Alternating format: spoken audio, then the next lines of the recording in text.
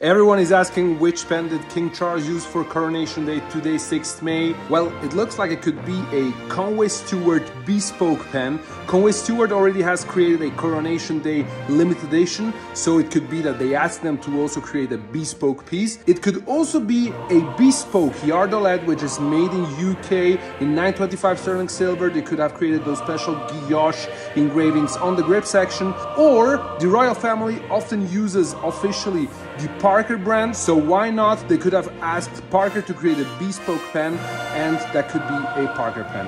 I will make sure to find out, and so follow me in order to stay tuned and find out which pen did he actually use.